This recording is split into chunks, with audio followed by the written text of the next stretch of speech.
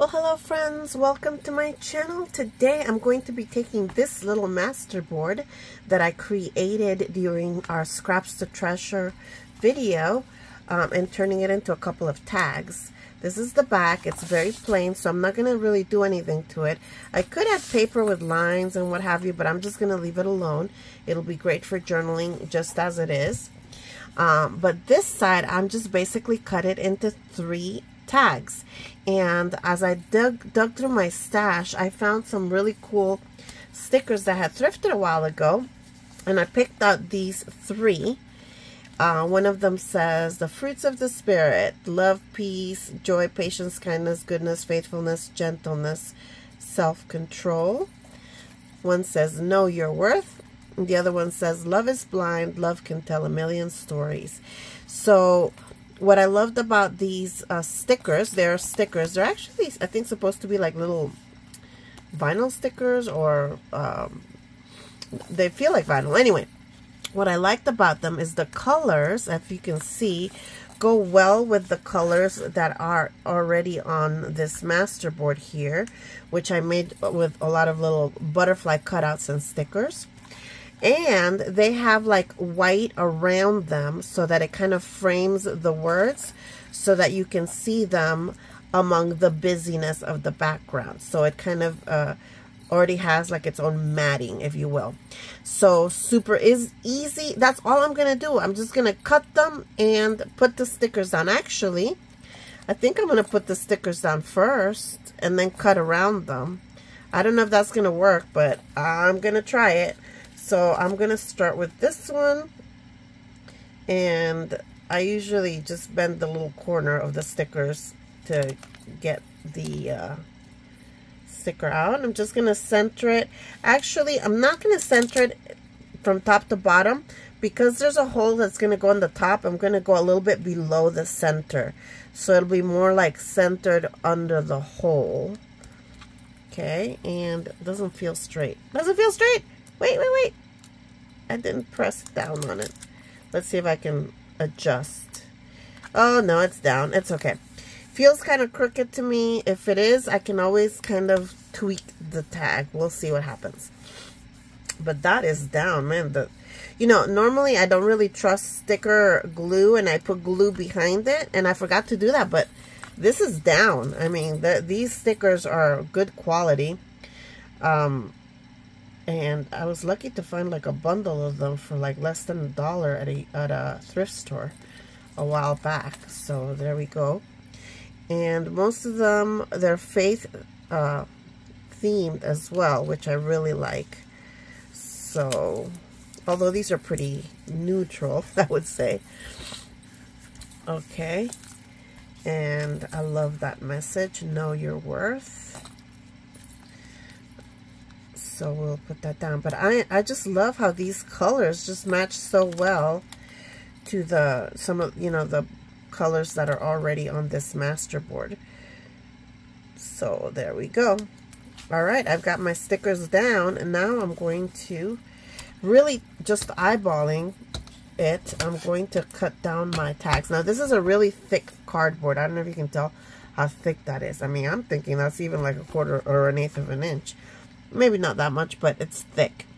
So what I'm going to do is I'm going to use a box cutter to cut, you know, this, um, this cardboard. And what I'm doing is I'm lining up the uh, edge to one of these little squares. And then hopefully, maybe at three inches. This is uh, one of the rulers you get at the Dollar Tree. It's awesome because it's, I think it's technically called a square and um, it just makes it really easy to um, line things up. And because it's metal you could use it to cut you know because um, to to um, lean your blade against the paper. So hold on a second. I'm not really seeing. Let me go like this to see. Yeah I think three inches will be just right for that that tag so I'm just being very careful to hold it down.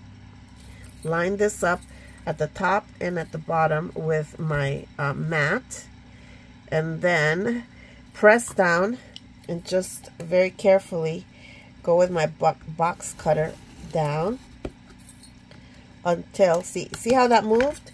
Gotta be careful and make sure that I am holding it down and not letting it move. Sometimes that's a little challenging, so just like to kind of be careful, take it easy, and go as many times as I need until it gets cut.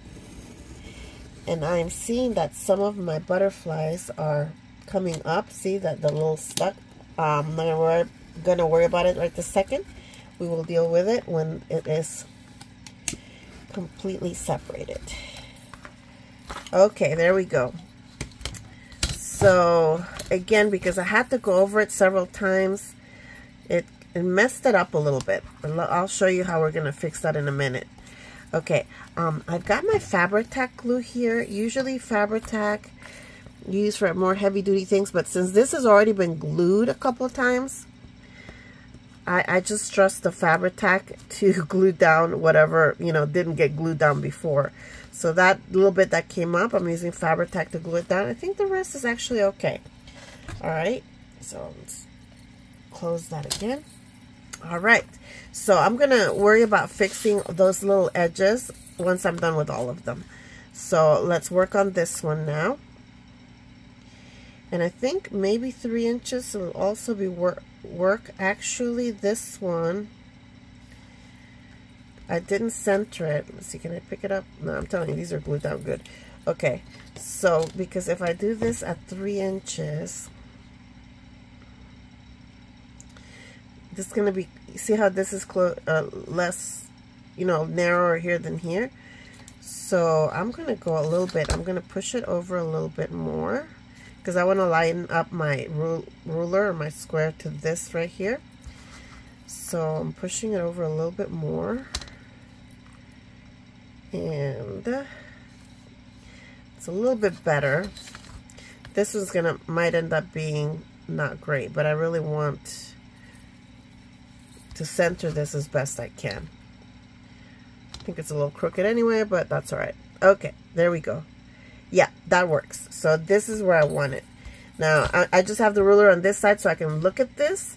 But if, in order to actually cut it, I'm going to turn it over to this side like I did before because, well, I'm right-handed and I, I'm going to use the box cutter with my right hand. So, again, pressing down nice and tight, making sure the ruler doesn't move because it wants to. Gets pushed over a little bit and then pressing that nice and hard. This is really thick cardboard, so that's why it's taking a few passes, even though I am pressing down nice and hard. I think, okay, there we go. It got separated. Okay, there we go we have this one, this one, and actually it worked out really well, the spacing on this one. I'm pretty happy with it. Now, um, do I want to make this uh, tag shape? I think so. And to do that, I think I'm just going to take some heavy-duty scissors. Let's see if I can go ahead and... Yep, I can cut it with scissors, no problem.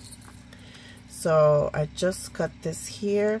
Some of the sticker fell off, but that's okay. I just flip it over so that it matches on this side. There we go. And now I'm going to take my hole puncher and just punch a hole in the middle. Again, I'm just eyeballing it, but that's about the middle right there. Okay, there we go. And that's my tag. Um, still have to fix the edges, but I'll do that in a second. Let me go ahead and finish making my tag shapes. And they may not all come out the same, but at least they, they should be even by, you know, measuring it this way. Okay, and punch the hole. I was worried this might not punch. This is just a, like a Dollar Tree hole punch. And, um, but it's punching fine. Because I'm telling you, this is really thick cardboard. Okay, and now a little bit here. All right, now I don't have to worry about that piece, at least that corner. Okay, and there we go. Last hole. Right there.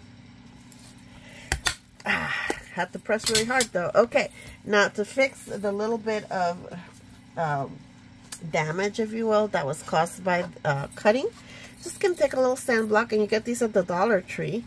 And I'm just gonna go down from up top down like this to smooth it out. There we go. And that pretty much will clean it up. can go around the whole thing. If I see that there's any unevenness, you know? Like, okay, so this is a little bit from the back, so I'm going to go from the back up. And yeah, it does make a mess on your desk, but you know, that's the price of getting the finish you want. okay, there we go. Nice and smooth. That works. Okay. And let's see, do I need to do that with this one? This one's actually okay. Maybe a little bit on this side. Make it more smooth. There, I like that. Um, if you want, you could put a little bit of Mod Podge um, on the edges if you feel that it needs it. I think it's just fine. This is probably the worst one right here. And there we go, easy peasy. It gets nice and smooth. Okay. Whew. Do have a big mess here though that I will clean up. I need to get me one of those little vacuums I see people using. But I'm just uh, scooping this onto my other hand, and there we go. Okay, so um, the last thing is the toppers. Now, I looked through my stash of little fibers, and I came across these cute little um, pieces of lace and rickrack and things. And again, the colors I just thought went really well. So it's just a matter of picking one. Um, I'm thinking I like this one for this. It kind of brings out the, those colors. So I'm just going to grab a little piece. And you know what? You can even mix a couple of them. How about this and some pink or purple? Actually, I think I like it with some purple. So I'm just going to take, um, let's see, I want it to be about that, not too tall. So just kind of, again, eyeballing it. And these are not the best scissors, but for fabric. But so we got right now, so that's what we're using. Okay, so there we go.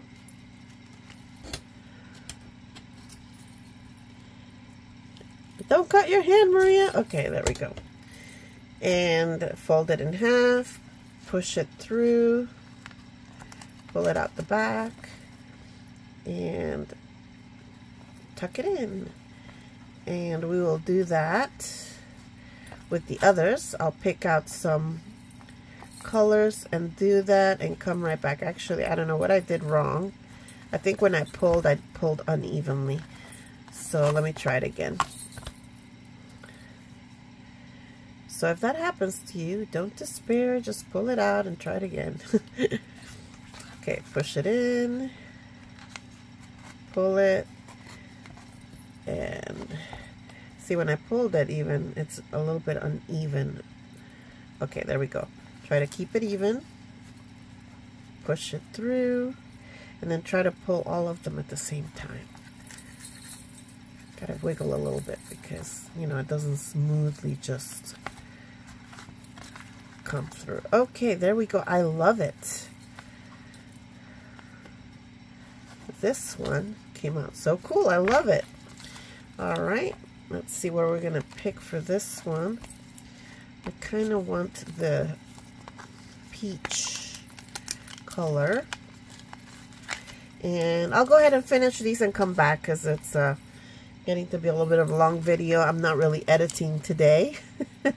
because I'm at the last minute once again for uh, Tag Tuesday. Okay, I'll be right back. Okay, there are the completed tags. I went with a little blue and beige on this one. I thought the blues were the strong element here. This one, I used the green again with the peach, and I think that works really well. And that is it. On the back, again, it's blank, so you can journal or do whatever you want to on it. And I am loving it. Super simple. That's the nice thing about using uh, master boards is that you can just add an embellishment and you already have a project almost completed. If you missed the video when I where I made this masterboard, I will link it in the description box below. Or and actually, I'll try to link it in, in you know one of these corners here so that you can watch it. Thank you again, and definitely check out Sheree's video for Tag Tuesday, which is an open collaboration that she hosts, and she will have links to other participants as well. Thanks again for watching. Have a blessed day. Bye-bye.